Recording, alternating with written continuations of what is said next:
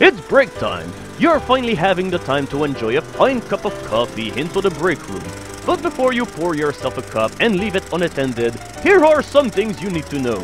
First of all, never leave your cup alone because some fantastical forces may make it tilt all over the place and your coffee will fall on the floor and fall into that conveniently placed drain where it will go into the sewers and where it will go into of course filled with flamethrowers and sick jumps. Just think about it this way for a second. Your coffee will have way more fun than you in your boring local job at the office, where it will go into a local roller coaster and play with fire. Isn't that manly? And also, your water will end up into the local boiler room system where it will make things explode, the entire building will blow up, and a whole bunch of people will be killed. So think about it for a second.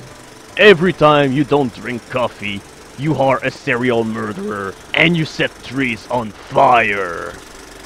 So, you be careful from now on, hey? Welcome back to Puddle. Into this update, we're gonna tackle the second chapter of the game, the nursery. It's about time that we move on to a brand new area because I was starting to get sick of all of the greys and blues of the water course, so it's now time for something a little bit more colorful and rejoiceful. But first we have to do something about our predicament of a box of sodium chlorate which is put on fire. This is bad news, so we better put it off. Or, uh-oh. Oh no!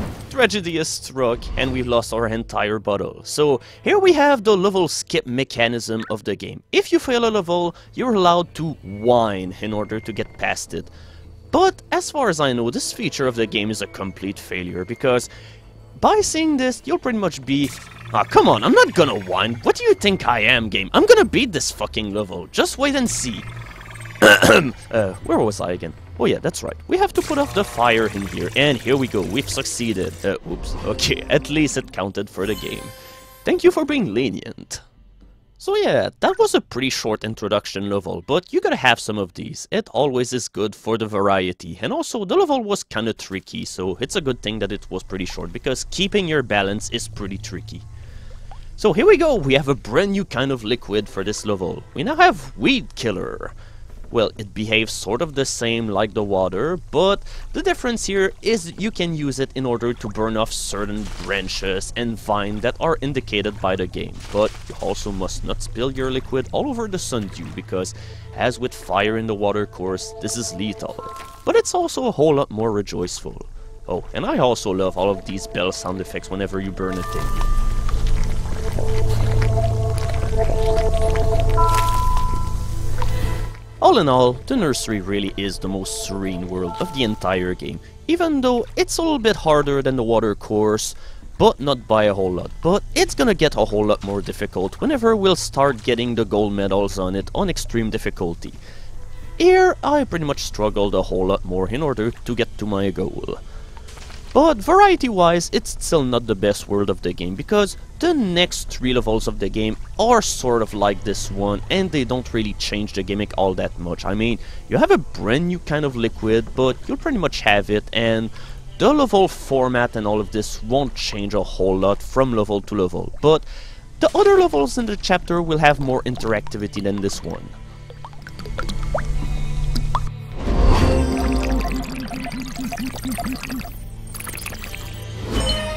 Oh, come on! I thought that I had the gold medal on this one, but no. Yeah, sometimes the level design in this game can be infuriating because there will be parts where your liquid will be dispersed all over the place and by the time you're trying to gather it, you get to the exit and it's pretty hard to avoid and finally by trying to get all of your liquid back together again, you just collect enough liquid to trigger the end of the level, and then all of the rest of your liquid is lost, even though it was on the way to victory. There are some levels in the game where you have to play exactly the way that the authors wanted you to.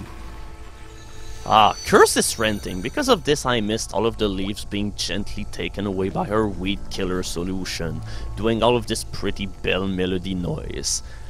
And it gets even better on extreme because there's a whole lot more leaves.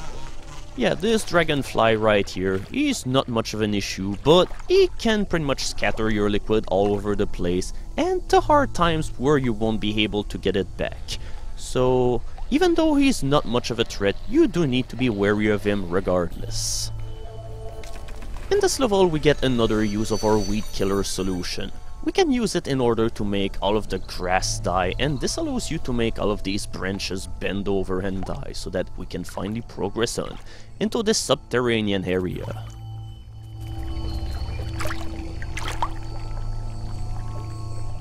Yeah, don't be in a hurry if you know what's good for you. This is where you can see some of the trial error nature of the game because if you rush in full speed ahead without any kind of worry, all of your liquid will end up straight in the sundew and it will all brutally explode. Now, this is a pretty touchy part of the level because in one way you will want all of your liquid to fall down, but by doing so, your liquid will fall off the branch and will also die in the sundew. And you need to make all of those branches collapse in order for you to progress further with the level.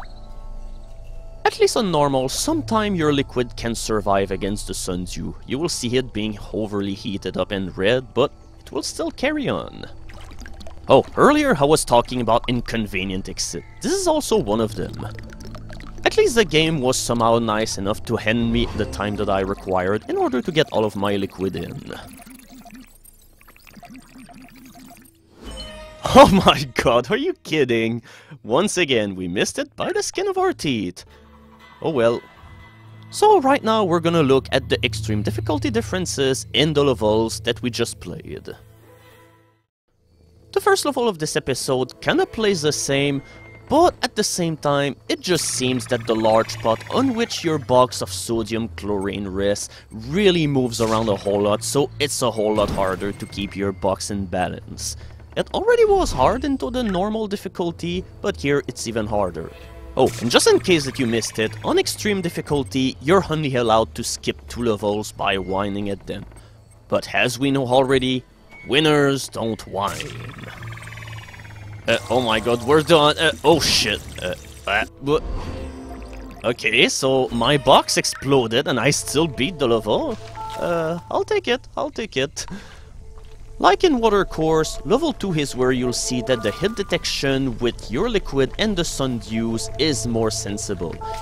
On the first time, you're being shielded by the vine, but on the second time, it's definitely not the case, so you have to be a whole lot more careful. But other than that, there's no changes. This level does a pretty unnecessary change, but at the same time I welcome it because it's so pretty sounding.